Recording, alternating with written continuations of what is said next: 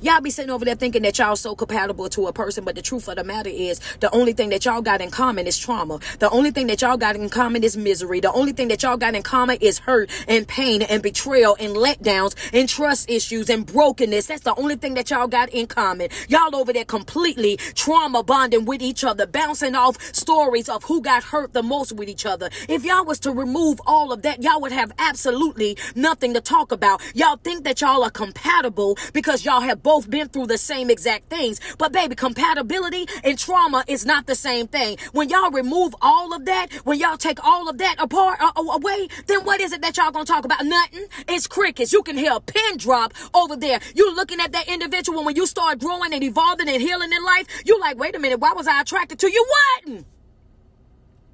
When you down bad, you'll settle for anything. The only thing y'all had to talk about was what you was going through. Now you're healing. You realize that you're not attracted to them.